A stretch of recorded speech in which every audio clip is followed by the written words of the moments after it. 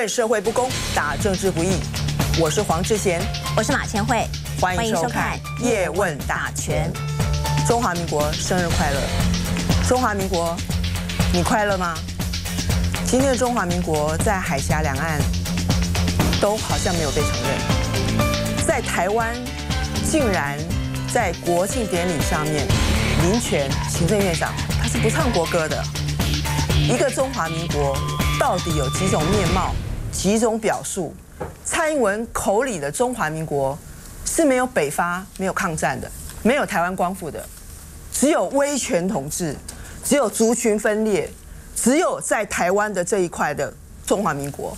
他口中的中华民国其实就是台湾国的外面披的那一层外衣。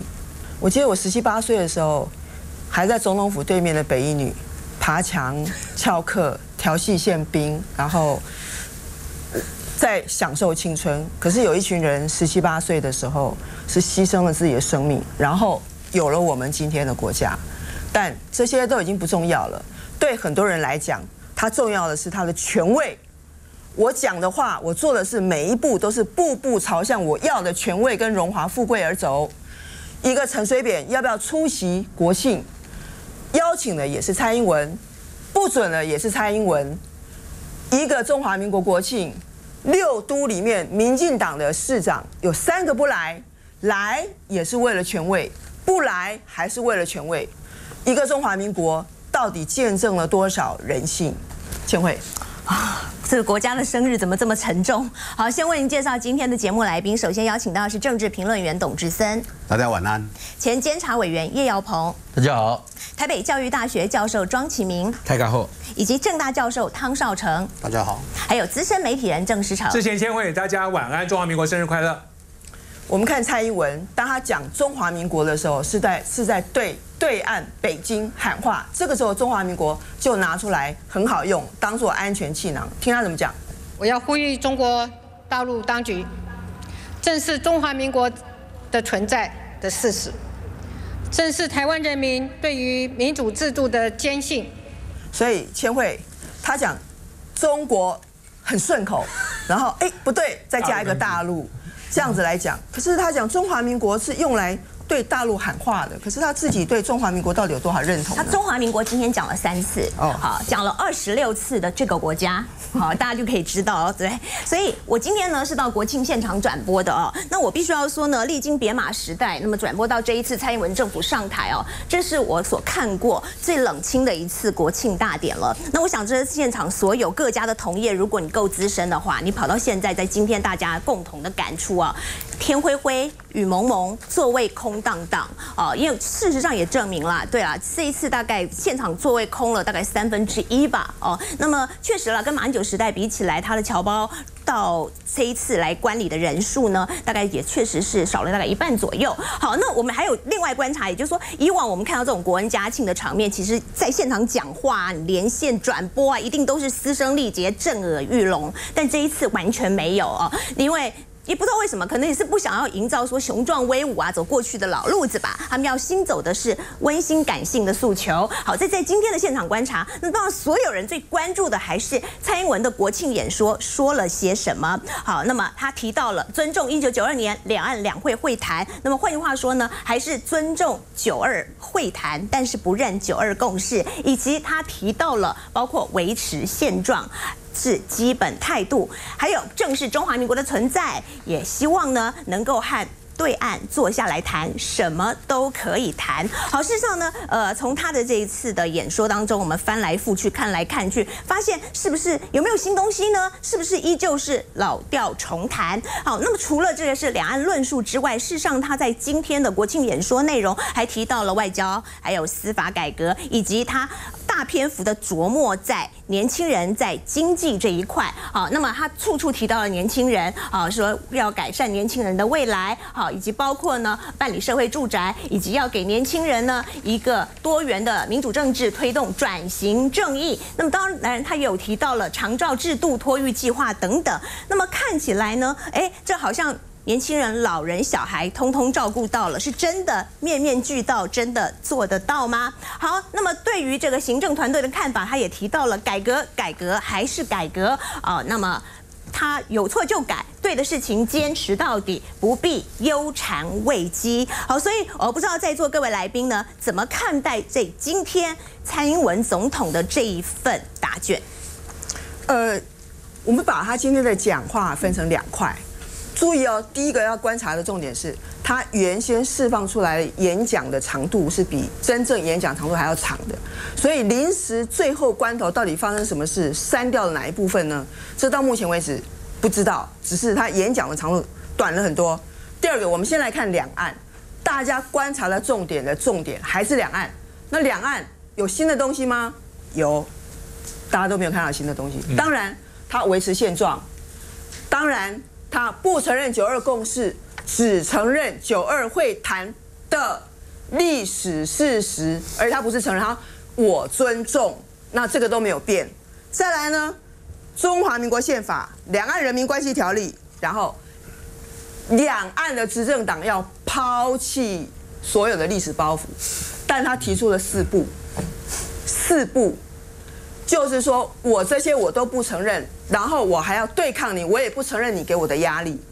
所以叶教授，我想先请请问你，你从是就职演说到他一路上接受国际媒体的访问，一直到今天十月十日国庆日的谈话，很多人还在想说蔡英文到底会不会承认？很多人还不死心，是不是有些人你永远都不用等呢？我必须在这个地方很郑重的说一句话。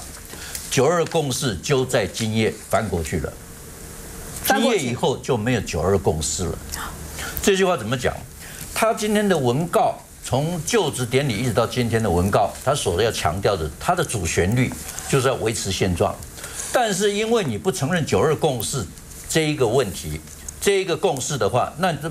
你的主旋律就不存在了，现状也不存在了。从明天之后，两岸之间已经不再有现状，也不再有九二共识。你如果说作为一个国家领导人，你有足够的高度，你的视野必须放眼于世界。你要看世界局势的演变怎么样子，然后我们台湾的生存要怎么应对这个世界，你必须要有足够的时间的纵深，你有历史感，你要看百年来、三百年来，乃至于三百年来台湾的历史演变是怎么走过来的。我们今天看到全世界整个局势，中国的崛起，美国的衰退，日本的想要蠢蠢欲动却不得其利。那么因此，我们也看到九六。这个飞弹危机的时候，美国人到台湾海峡来，还会通知中国什么时候要走，什么时候要来，他的航空母舰都告诉了中国，但是就是不让我们台湾知道。可见那个时候还中国大陆还跟美国还势均力敌。可是到了今天，南海仲裁，美国跑到了南海去，菲律宾旁边去，仲裁一出来，大陆一发生，美国人撤退了。国际的形势，整个国际形势到这个地步了。蔡英文总统还昧于事实，或者是没有看到这整个过程，居然还在还在想要把好不容易建立起来的九二共识，台湾的生存是跟国际形势息息相关的。当年如果没有说美苏的冷战的话，我们也不敢喊反攻大陆，我们甚至要杀猪拔马。在那个年代，后来他们已经和解了，我们这个也退出了联合国，我们从装进自强。退到三民主义统一中国，这个是历史已经告诉了我们这一段。最后好不容易我们建了一个九二共识，一个折修彼此能够过得去的这么一个共识，让台湾在国际很险恶的形势之下还能够存在，让台湾在整个的呃时时局地缘政治的发展上，我们还是能够存在，就是因为九二共识。我们不仅存在，我们还要求发展。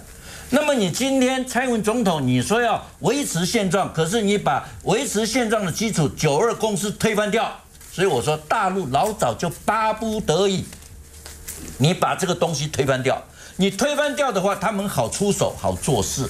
那因为在马英九执政的时代，我们口口声声用九二共识，他虽然承认一中，但是个表他不承认，可是不承认也得承认，这是我们智慧政治智慧的运作。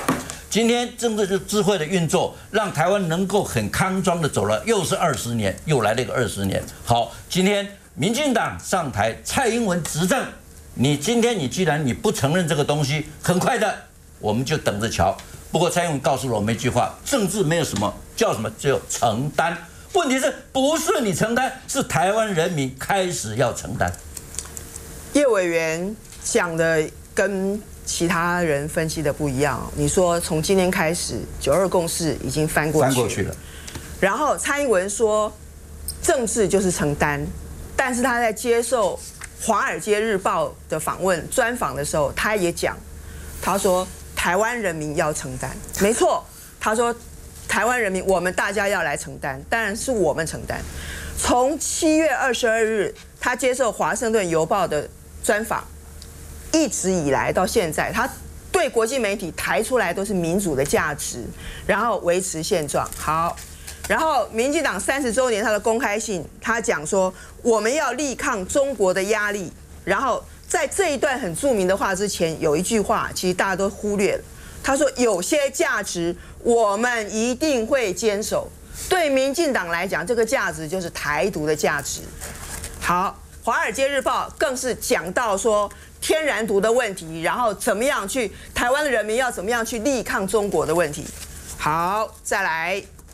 读卖新闻的时候，他讲说五二零的承诺不变，我们会维持现状，善意不变。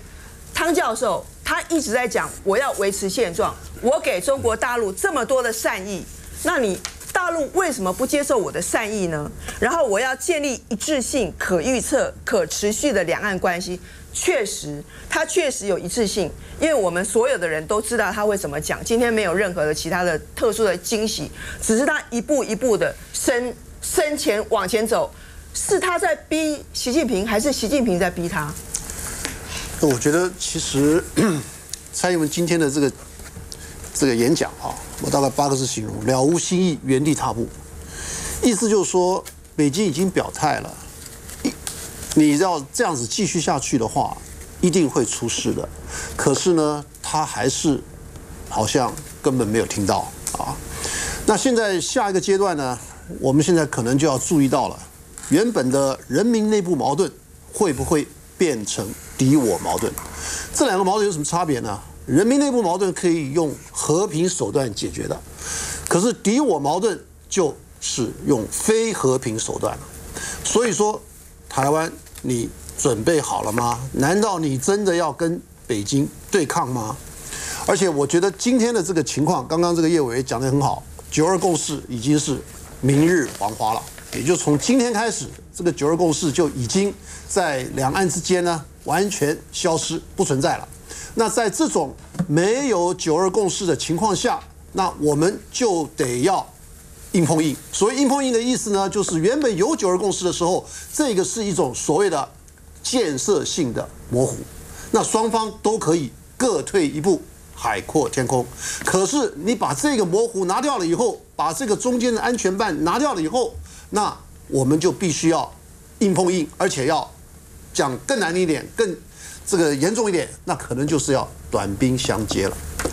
那因为最近大家都知道。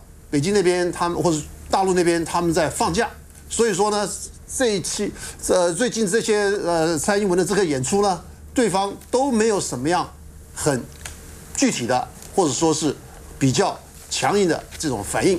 可是从今天开始，他们已经销假上班了，所以我想在可预见的将来，也就是大概就这个礼拜，北京这边一定会有非常强烈的这种反应，其中还包括了这个。呃，有关于比如说宋楚瑜主席，他能不能够顺利的到这个立马到这个秘鲁去开会等等这些问题，因为今天蔡主席所蔡英文总统他所讲的这个三大点，第一个是内政，第二个是外交，第三个才是两岸关系。也就是说，这里面的这种安排，完全显示出了在蔡英文或者在民进党的他们的这个理念当中。外交关系或是对外关系是优于两岸关系的，而跟国民党是完全颠倒。也就是说，他希望用假外力的这种方式呢，来促成或者促进两岸关系的发展。我觉得这个根本就是缘木求鱼，不可能的事情。简单一句话，您认为宋楚瑜去得了 APEC 吗？我觉得去不了，而且。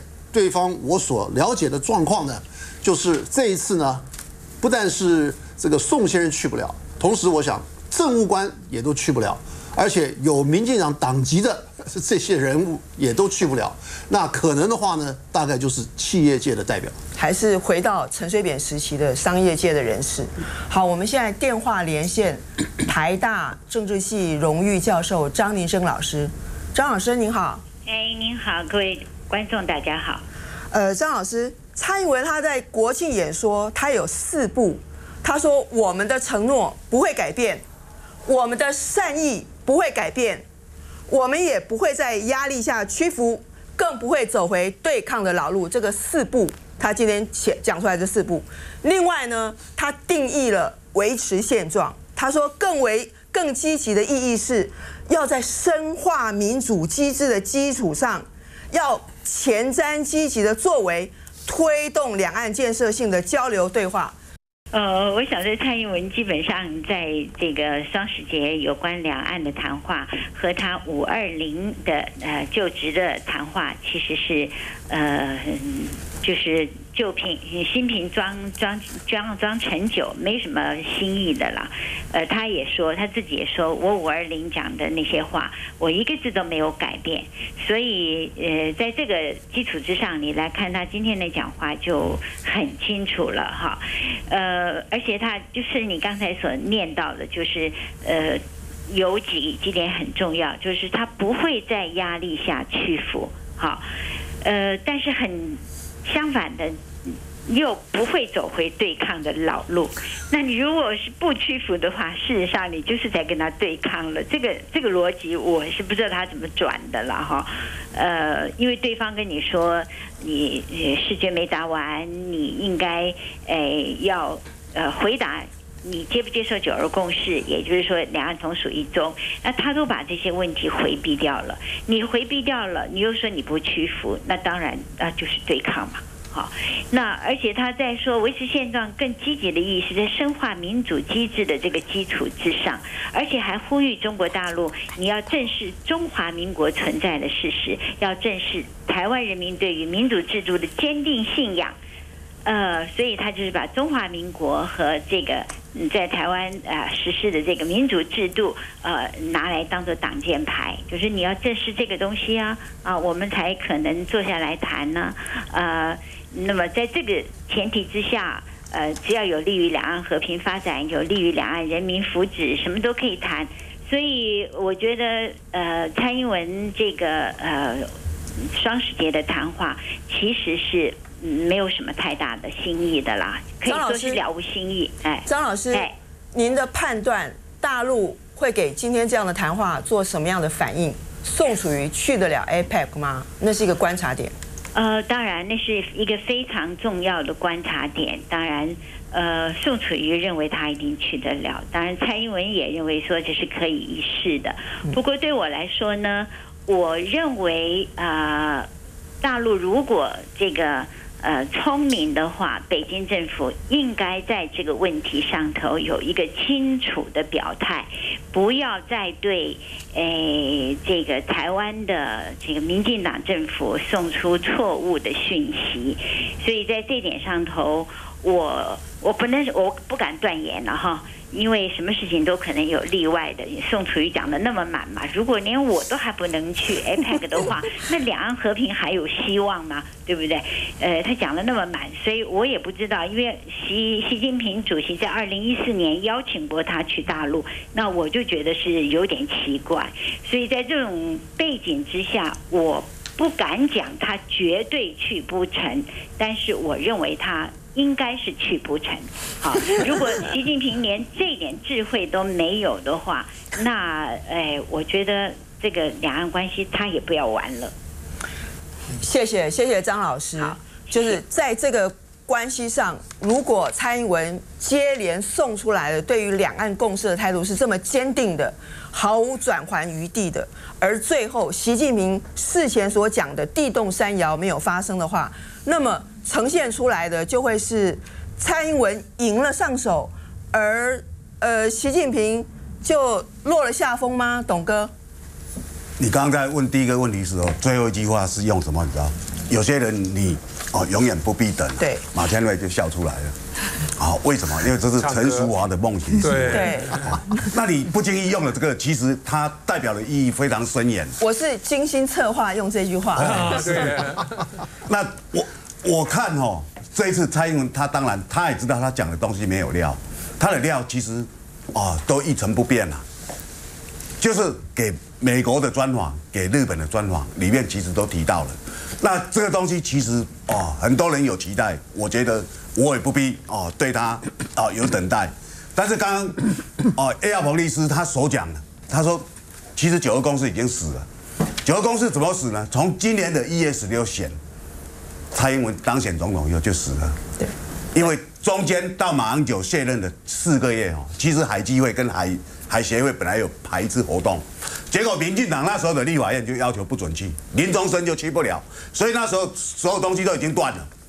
那蔡英文在这次里面虽然提到国内外交哦，提到两岸怎么样，这些东西都是空幻，都是假的。其中国人本来最期待的就是说，两岸会不会有新的讲法？那当然，我们很早就知道九二共识其实死了，不可能有讲。宋楚瑜怎么形容？哦，蔡英文呢？宋楚瑜讲啊，说蔡英文你的两岸政策哦，连神仙都救不了。中华民国要正视它存在，这马上有建国一百年讲的。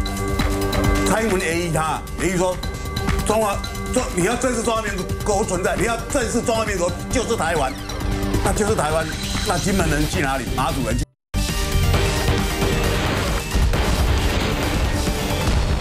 是民进党一贯啊。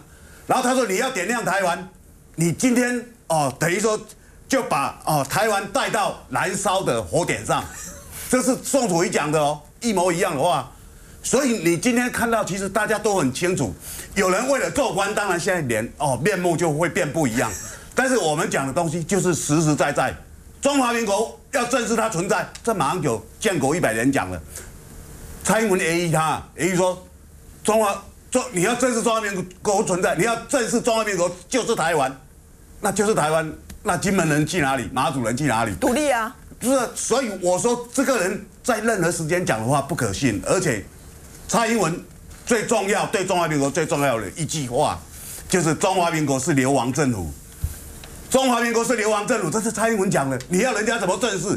全世界所有政党、所有国家最糟蹋、最鄙视中华民国的，就是民主进步党，从来不把它当做一个国家嘛，从来没有。然后你今天要人家正视，你自己都看不起了，还要人家正视？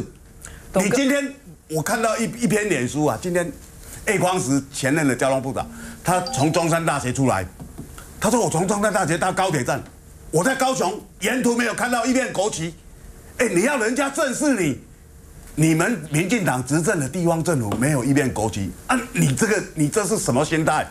你在台南或高雄拿中华民国国旗，碰到不理性的民众，可能还会被打，还会出事，还会被打，发生暴力事件。所以我们现场总算在我们节目可以看得到中华民国国旗。今天的国庆现场都看不到什么国旗，常常都是这样，没有把国旗放在地上踩就已经很了不起了。庄教授，维持现状是蔡英文在选举的时候对全台湾、对中华民国国民的承诺，让大家误以为说我会承接所有既有的马英九的路线，两岸的和平。今天其实许世凯他在十月八号的时候，终于帮大家解开谜底了。维持现状是什么意思？许世凯是陈水扁时代的台湾驻日代表，好，然后是。独派大将也是蔡英文现在非常尊重、非常敬重的独派大佬。他说：“维持现状，我逻辑推理呢，其实维持现状就是台湾独立，因为呢，现况现况就是台湾独立的现况，只是我们不把它戳破那张皮。蔡英文总统维持现状，但是不接不接纳九二共识，这符合台湾人的愿望，所以。”蔡英文只要继续一步一步一步的去推动台湾独立，推动教育文化的台独就可以了。我必须要这样讲哈，这个我先从蔡英文讲这些话开始讲哦，包括因为你们有年轻人嘛哈，我我我觉得我们可能有一些地方可以再深度的解读维持现状，还有承担呢。我觉得自从蔡英文就职到现在为止，造成我们的农产、渔产原来的采购不见了。包括我们的观光产业、旅游产业，包括很多的这个餐饮产业的店家关门了，青青年包括很多很多资源都丧失工作了，然后家里陷入困境。但是唯一维持现状的就是蔡英文还在当总统，而且他这次还换几千万的，那承担的是谁？谁在承担？这些受苦受难的在承担了。所以我们要搞清楚，他在讲承担的时候是叫大家要承担了，对不对？那维持他继续怎么样？当这个国家元首享受这么多权利的这个现状，那我在另另外一部，我们来看这个，他提到这些证件，年轻人这些证件，我觉得这些证件呢，说老实话，在我心中比柯文哲都还不如。柯文哲不如柯文哲当初至少还有个愿景，说要台湾超越新加坡。那，台台湾超越新加坡的话，国民所得要五万美金呢。那这里面这几项，新加坡都做得很好啊。所以柯明柯文哲在有这些愿景，对不对？可是我们来看这几项，他这几项，我觉得蔡英文这个国家元首的格局比市长都还不如啊。办理社会住宅，我几年前就讲了，我们的房价会一直掉，社会住宅影响不大。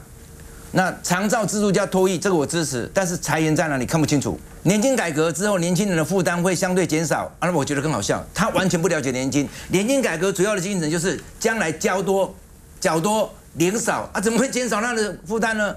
然后年轻人一个健康多元的民主政治，那是民民进党完全没有资格讲话。一个健康多元的民主政治要建立在理性的公民社会，尊重少数，多元讨论嘛，对不对？可是我们看民主进步党是怎么做的？五加二说了我听不懂了。那个蒋经国十大建设，还有新竹科学园区造成国家的钱，五加二是什么？听不了，市长的格局。那我们看行政台队哦，他说改革没有捷径，走捷径的改革通常不是真改革。连国民党党产条例就是这个，我赞成国民党党产要改革，对，但是不是走这种方式，而且是用二把的方式，包括一例一休，一分赢，一分钟，而且。当初那个他们在骂福茂通过的时候，骂他是半分钟，对不对？对。可是他们以国民党以前是有办过几十场公听会哦，这是民进党这个几乎都没有慢公听会，完全没有。比国民党二把。二把，所以他他不是有错就改，有错就改，做对的事情要就坚持到底。我觉得他是有错不改，错的事情坚持到底。只能说他的是非价值的。标准跟民主社会跟正常人类是不同的。我们认为民主就是过程最重要，而他认为就是他做到了，他把国民党鞭尸了，把国民党灭掉了，这就是对的。对的，我管你骂，我就坚持到底。所以思成，嗯哼，他讲年轻人要诉求，让我民调不要掉吧。他讲转型正义，就是我继续砍国民党吧。许世凯说出真话，维持现状就是台湾独立，因为中华民国已经在一九四九年灭亡了。这是他前两天讲的。蔡英文在现场哦，他讲这个话的时候，蔡英文没有反驳。是啊，你们都不了解蔡英文。蔡英文从五二零到今天十月十号说，他他认为他要承认九二会谈的历史事实。各位，什么是九二会谈的历史事实？对不起，九二会谈的历史事实就是没有共识，后面共识是后面逐渐形成的，所以九二会谈的历史事实不等于九二共识，他直接明讲就是九二没有共识啊，这是他的认知啊，然后他说四不，对不起啊，我觉得蔡总统你在鬼扯，四不叫做承诺不变，善意不变，不屈服于压力，我请问一下，你两次提名不分区，有没有屈服于新潮流的压力？有没有？你对民进党党员的谈话不力抗中国的压力，有没有屈服于独派的压力？有没有？你还没屈服，你多次屈服，所以我觉得这一次的所谓的总统的这个所谓的国庆谈话，大概就是三机。你那个三机谈话就是影印机，再加上读稿机，然后再最后有新机，就这三机。为什么影印机？请问跟五二零谈话有什么不一样？有什么不一样？念稿机，你以为他在看台下的观众啊？不，他在转来转去看的是那个字幕机。然后之前还特别谈到说，他平常很顺的叫做中国，突然发现竟然不能讲中国，在后面接一个大陆。我最后要讲，你知道我们要力抗中国的压力，我告诉一下美国怎么力抗中国的压力好吗？这些大国都承认中国是唯一的合法的政权。就是一个中国原则，这就是政治前提。我们要力抗，我们最后可能会死得很惨。呃，蔡英文要大家力抗大陆，力抗所谓的中国。嗯。然后呢，他自己呢要力抗的是什么呢？他自己要力抗的其实是民主的精神跟原则，因为台湾过半数的民意是支持九二共识，台湾过半数的民意是希望两岸和平的，而他想要给年轻人未来，可是没有两岸和平，呃，我觉得年轻人很难有未来，但是，但是陈水扁可能会有美好的未来。我们今天看到最挺扁的辜宽敏，今天也在。总统府现场，他怎么样帮阿扁讲话？我是赞成他来，嗯，来较好呀，啊，来较好呀，来较好啦。啊，那个国家的，就国家的国家的这个啊，庆祝嘛，请伊来，邀请他来。嗯，那你刚才刚最重要的是赶快要特色了。你有跟总统讲过不？啊？可比我跟他讲呢？他也很聪明的。比我聪明的多了，所以一个陈水扁到底去不去得了这个国庆的场合？选在这个国庆日之前是非常的悬疑的，一下子是苏家全他给的邀请函吗，邀请陈水扁，可是保外就医只是让你看医生，怎么可以去参加国庆日的的庆典呢？所以一阵舆论大哗之后，最后中间。中部监狱嘛，啊，他就开开会，在加班开会讨论一番以后，又不给他来了。邀请也是蔡英文，不给他去也是蔡英文。好，不过我们要说这个小英总统啊，他第一个国庆日真的是差一点点当不了主角了啊。这个主角呢，差点就成了我们前总统。那么主要是因为他的爱将，他的自己人苏家全爆冲，结果差一点点假戏真做。呃，儿子陈志忠啊，在媒体面前讲啊，讲着讲着讲着，哎。大家以为阿扁会来，哦，那么当然最后呢，就在最后一刻喊卡的原因，是因为台中监狱呢，基于安全、医疗、个人照护的考量，所以不准。蓝营这边呢，就会说啊，这样不公平啊。那对其他的受刑人来讲呢，呃，这个怎么可以这样成天在外面爬爬灶呢？还有呢，你蔡英文政府要做好人，台中监狱做坏人，那么陈家、扁家会不会觉得根本就是被耍了呢？好，那可是呢？我们也发现，在绿营这边呢，特赦阿扁的声量又大了起来。好，那么呃，很多人就开始想说，那么这样是不是也是为了自己要拼的是初选，拼的是未来的官位？好，首先讲到呢，大家所最觊觎的就是二零一八年的台北市长选举了，已经在泛绿阵营里面各个磨刀霍霍。我们当然来看到，就是台北市长柯文哲的对手有哪些人呢？包括徐国勇、顾立雄、苏焕智、赖清德、姚文智。好，这可能都是人选。所以呢，最近也传出这。个对民进党内有人跟台北市长柯文哲讨论过要不要呢入党，入党之后二零一八代表民进党来参选。好，那当然柯文哲说目前是没有啦。根据这个民进党的相关条例，必须要两年才有选举资格。所以换句话说呢，柯文哲必须要赶快，他必须在今年十二月三十一号之前入民进党籍，这才来得及。之前，所以庄教授。陈水扁他是贪污犯，他已经判刑入狱坐牢，然后现在保外就医。可是他出不出席国庆日这个事情引起政坛轩然大波，最兴奋的还是绿营啊！每个人一张嘴讲的都不一样，连所谓台独理论大师林卓水他都讲了：陈水扁有没有去中华民国国庆没关系，不重要，将来台湾国国庆他不要来就好了。可是不是嫌弃他贪污哦。是说他当初不够台独哦，你怎么还可以提四不一本一没有？所以我这个台独理论大师，我嫌弃你不够台独。一个陈水扁引爆了民进党内部要选选举的各种人，然后交相表态。看一下门道，我觉得哈这件事情是擦枪走火。我认为他们应该是安排这样子：苏家全发邀请函，小英假装不知道，然后陈水扁呢婉拒。说，因为我现在保保外就医不宜，所以蔡英文面子也有了，理子都有了，结果可能在这个过程里面擦枪走火，哎，结果要出来，要出来以后就不得了了，后面这些这些想要表态的，将来要选举人就跑出来了。你看我从，哎，我自己民进党执政呢，我的县市长不来参加国庆，这后面的意义是什么？是什么？对不对？就是他他表要表表示说他比蔡英文更毒嘛。民进党里面。生育的这一块已经在争取未来的县市长，包括立委的参选权，这个我们可以从这里面闻出来这个味道，所以我我认为本来是一。未来就是在比赛谁谁更毒嘛，这种情况就出现。未来是要比赛谁更毒？对啊，所以连连左手也都说台湾共和国陈水扁你也不要来了，连你都不够毒。所以现在已经看出来，民进党里面胜利的这一块已经在争取未来的县市长，包括立委的参选权了。这个我们可以从这里面闻出来这个味道。所以我我认为本来是一一出。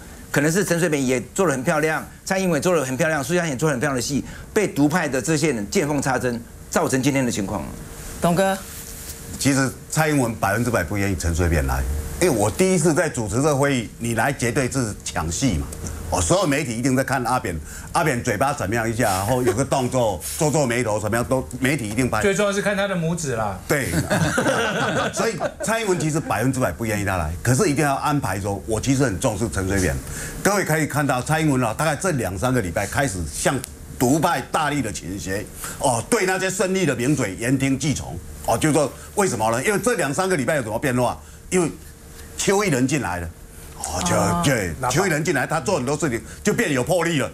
一立一修给我过，哪一个人敢不过？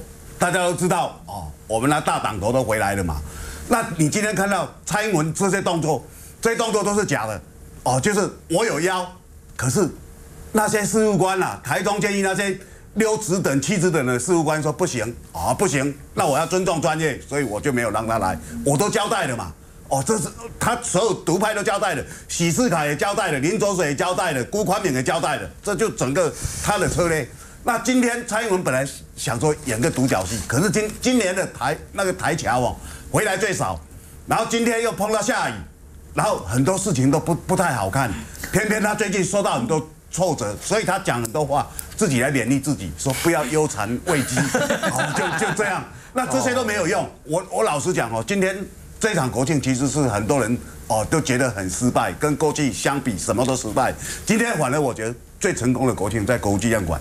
今天下午我经过了，很多人在那边大声的唱国歌，不是像林前不太敢唱哦。林林佳龙避过五党手中，然后辜宽敏哒啦啦坐在那里。我我觉得你要么你就不要去嘛。你既然来参加中华民国国庆，而且蔡英文总统又抛出正式中华民国这个主张。那你就是应该尊重现在这个国家。你今天不是在卖三星的手机嘛？民进党执政两次，就像三星手机里面会爆炸，第一次爆炸，哎，大家赶快来换哦，换回来，第二次又爆炸，一样嘛。你就是要借人家的壳，可是里面是会爆炸的。千惠在现场转播，感觉到的是就是冷清、凄风苦雨，然后没有感觉、没有 feel 的那种感觉。然后，可是他们有感觉是什么？赖清德在台南。盘算要到台北来选举，很有感觉。很有感觉啊？林佳龙在台中，他也不来。对，他在台中做他的诸侯，他也很有感觉。你你知道赖清德多过分吗？那天来双北拜庙，拜完庙以后吃东西，吃东西店家帮他安排这个所谓的这个这个这个房间，他不要，坐到这个大厅来，然后坐在那边，然后起来，他不喝酒，拿喝开水，逐桌敬酒，哎。敬敬开水，你看他有多么的明白。他那时候这么空，对不起，十月十号一乐波赢，没有空。我跟你讲啊，这个事情要倒着看。其实十月十号对蔡英文来说是个是个鸡了麻烦，因为很麻烦。我又要发表演说，又要表示国庆，要表示我庆祝这个国家，很麻烦。那我我只好先把我的。我的讲稿先发给中央社，然后又删掉一些对白，然后呢，演出这个叫邀请陈水扁的戏码，是对独派交代。先先这样子哈，不能让他来哦，然后再由这个苏家全他自己去弄哦，好，弄完以后就说，哎，OK 了啊，这个事情他不会来，所以呢啊，这个怎么样？然后不关我的事情，我不知道。然后呢，国庆演说完了，完了就完了。各位不要再讨论了，大家把这件事就忘记了吧，这个事情过去就算了。哦，大家不要再分析这么多了啊！我就是应付一下嘛，对不对？我也不得已，十月十号要我讲这么多话，我也没办法，对不对？讲完了，然后我就把那个五月二十号拿来拷贝，然后再改一遍，就变成我今天的讲话。所以各位不要再分析了，因为过了今天他讲什么他也忘记了，因为他是看读稿机的嘛，对不对？所以大概就是如此。可是问题是伤害已经造成，我觉得受害最大的叫宋楚瑜。刚刚各位各位分析的没错，可能宋楚瑜本来还有点机会的。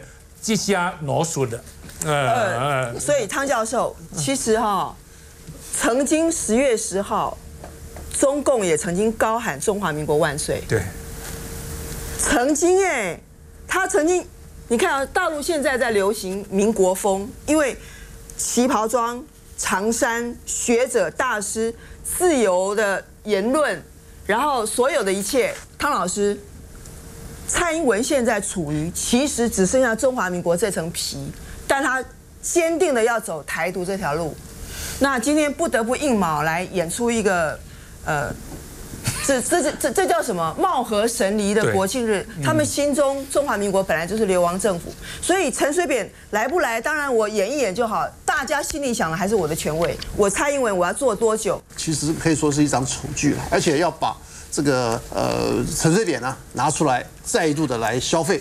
可是陈水扁，我倒觉得呢，他也觉得他应该有也也来可以演这场戏。为什么呢？因为他的最终的目的是要特赦。跟那这个如果说他整天都待在监狱里面，或整天都这个销声匿迹的话，这人人家都把他忘记了啊。那所以说呢，他在前阵就在那个呃蔡英文他那个就职演说的那个那个时候，哎，他不是也在闹闹了一阵子吗？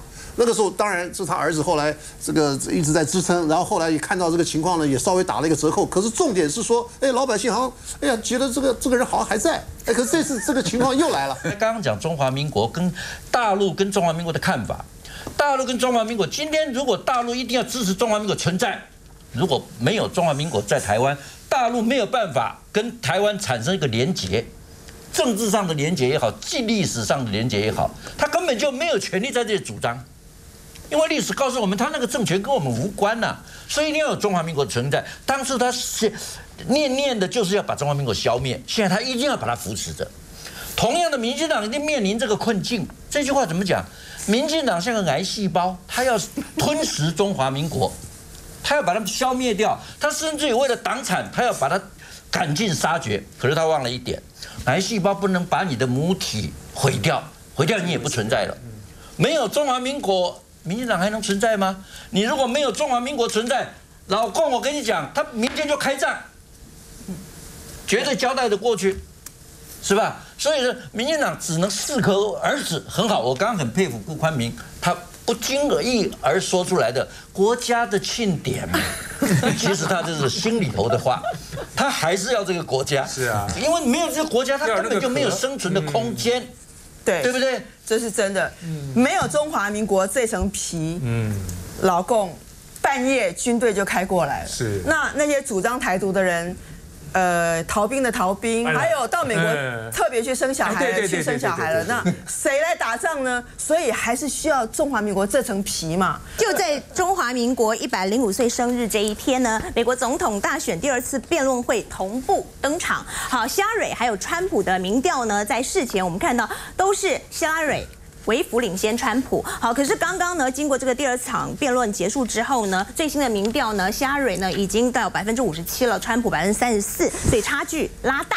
好，主要是因为最近呢，川普很糟糕，因为他大开黄腔的过去被起底出来了。好，包括了呢，呃，这是 CNN 挖出川普在二零零四年接受一位呃广播节目的主持人访问的时候闲诗的对话，他甚至连自己的女儿都不放过。那这个我不逐字念了，因为我实在念不出口。这些影片外流，其实就是要转移焦点。好，那么转移大家对现在政府等等重大议题的关注。好，那我们要看的就是说，这个川普的道歉有用灭得了火吗？这是美国总统大选呢，怎么会沦落至此？只有这样的格局吗？还有，是不是川普也不要再继续选了？因为事实上他离胜选是越来越远了。呃，今天早上其实，在呃蔡英文的演说之前。我想很多人跟我一样，都是在看美国总统大选的辩论，其实是很精彩，看得到川普他这个人已经完全已经几乎是失控了。其实《华盛顿邮报》也公布了一个蛮可怕的，是他在在那个卡车上面讲的话，讲的更更过火、更过分的话，所以一连串的随时一捞，好像都是川普的色情录音带或色情录影带。这样的人，可是虽然。共和党的大佬、支持共和党的名人都已经纷纷撤回对他的的支持，可是共和党基层对他的支持非常坚定，完全没有退缩，跟民进党基层支持者一样非常坚定。嗯哼，我想说，我大概用三句话来形容这个目前的这个川普的情况啊。第一个叫做非传统，第二个是反体制，第三个下三滥。目前这个情况是完全打破了啊。那另外那个是反体制，意思就是说，今天川普他之所以得到这么多的这个支持，当然是说讲了很多这些不满民众心理的话。因为很多民众确实对目前美国的这个政治，不要说美国了，很多其他的国家也类似啊。你像比如说这个这个菲律宾等等，他是对于当前的这个情况，不管是制度也好，是人也好，政策也好，都是有高度的不满意。那刚好呢，川普就把这些人的这个心理啊，他们不不敢讲，或者是不想讲，或是没得讲的这些话呢，把它讲出来了哦，然后。大获这些民众的这个支持，那这种问题，那怎么排抬到这个总统辩论来做这个攻击对方的这个这个这个工具？我觉得这个根本就完全违反了美国其实他们原本的这种这个基本的价值。你如果说你选希拉蕊，保持现状，稳中求进；可如果说你选这个川普的话，他是其实我们把他那些负面的东西排开的话，他是美国优先。然后呢，闲事少管，对，他是要美国优先的。其实这些人这些东西，很多人还是听得进去的。他说美国的公路啊，美国的机场是因为第三变成第三世界了，所以说你一定要把那些军费，你发呃花在这个中东的这些军费啊等等，你把它省下来，然后呢来建设美国，然后把美国打造一个更好的啊，制造更多的就业机会的啊这种国家。哎，这个话人家听得进去的。周教授。我们在台湾的人，我们看美国的总统大选，我们应该怎么看？其实这这种现象在台湾以前就发生过了。对现状有下三滥吗？不，对现状很不满，充满了愤怒，然后有人可以把我愤怒的感觉表现出来。那我认为这样子的话，台湾会进步。当初万年国会的时候，朱高正哦，他跳上那舞台以后，变成很多人的英雄，对不对？再来柯批，柯批也是很多人对现状不满。然后对体制也不满，然后很多地方不舒服。科比用他的语言呢，把他内心的话感受出来了，然后认为下一步就会认为说，因为这样会带来有梦最美，希望相随。可等到到了一个临界点，发现说他讲的东西跟他做的已经越来越差越远了，讲的跟做的越差越远的时候，他民调就会下滑嘛。有一些那个名嘴啊，一面用偏颇的语言、偏颇的资料，我觉得这个挑战社会绝对不是正面的。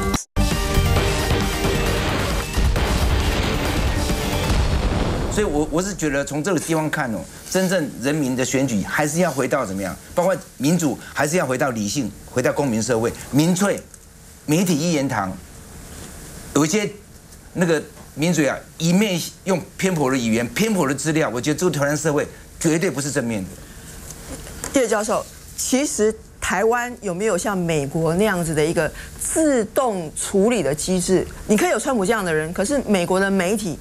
不会被川普所压制，美国媒体可以监督川普，可以有一个比较稍微公平一点的机制，可以让大家、让老百姓在选票投下去之前就看到真相。这一点我们应该来讲哦，这个还有一个很很关键性的，就是网络的发达。透过网络呢，有很多网民，他们没有呃太多的这个社会的经历，他们所经历的都是挫折，挫折带给他们的感情的反射呢，他就对政治人物的不信任，因此传统的政治人物在这方面会很吃亏的。那么这一类突起的这一种好像突变基因、基因突变的这种东西一出来的时候呢，大家都哎感觉到好像就一下子很很灿烂似的，一就降而往之。但是呢，川普他露馅露得太快了一点，而且他那个真的是不堪入耳，也 不堪入目。对，所以呢，他这个很快就露馅。那科比呢，没有，科比只是他，他之所以他的毛病在于他的无能，他根本就能力不够。哎，在其位就显得这个抓襟见肘，然后手忙脚乱。那慢慢的，他呢就慢慢凸显出来。所以你说两个地方虽然国情不同，但有个共同点，就是网络的发达，还有政治人物的被人家呃这个被信任感已经整个的被摧毁掉。你可以看到，其实台湾的民进党哦，跟川普很多作为很像，可是他是当选的哦。那个讲女生哦，穿裙子的怎么可以领导三军？今天出现在国会，那个伸出手去摸国民党女性立委的那个就是苏家贤的侄子。这个党现在是在执政的，有人谴责吗？我我觉得川普不见得会落选哦。如果在这个大选前发生一跟总统。